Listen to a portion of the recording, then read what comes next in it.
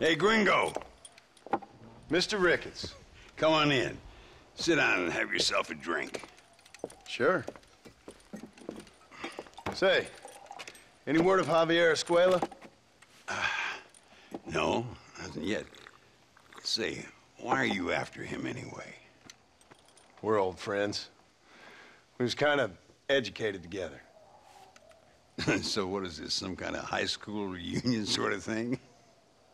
Something like that. Well, well, you've killed people. You lived the life. That I have. And I tried to stop. I mean, I don't know. I tried to go straight. I did. I left the gang after the gang left me. Left me to die after I'd been shot. They'd all gone crazy anyhow. Our old leader, fella you probably heard of. Anyway, he more or less lost his mind, went and shot a bunch of people unfair like. I got shot in a robbery. They left me, and I left them. Well, that's how it goes.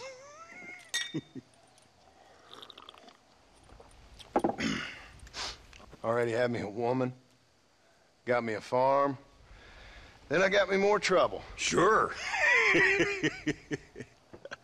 Been sent to track down the men I used to run with. Track them, kill them. Well, if you don't, someone else will. There's no escape. Look at me. I spent 25 years killing men. Look at me now. Sitting around here like some low-rent would-be messiah. We're relics. Come on, have yourself another drink and let's wallow in a little self-pity. Sounds like a plan. Your health. Mr. Ricketts! Mr. Ricketts! Thank the Lord I have found you. And you, Mr. Marston. Will you sit down? You all right? I'm well, sir. But Allende is sending more men to the death. Prisoners who have not been tried. A prominent writer, Castilla, and a local official whose only crime was not putting the small holders on the street when they were late with taxes. Writers and government officials. For once, I agree with Allende. Some men need to be killed. Mr. Ricketts! I was just joking. Where are they? Out near Escalera. Let's hang up our self-pity and go shoot ourselves some bad guys. You're gonna be all right. Thank you. Both of you.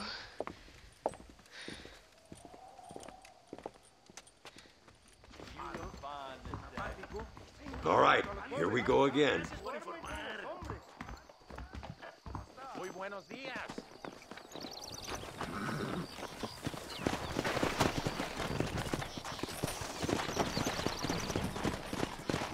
Get up!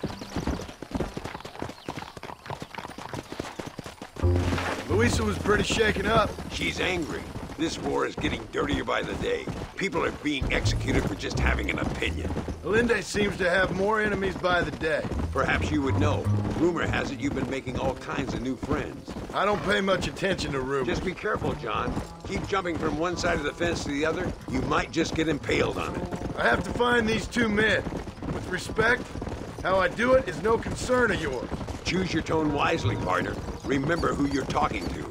How could I ever And forget? who are you, John Marston? Apart from a rat feeding every other hand he can find, my name means something. All you've done is kill a few peasants, and the only real outlaw you've taken on dropped you like a bad habit. Now, I'd politely ask you to watch your tone, Ricketts. All I'm saying is, maybe there's a reason why people around here don't want to talk.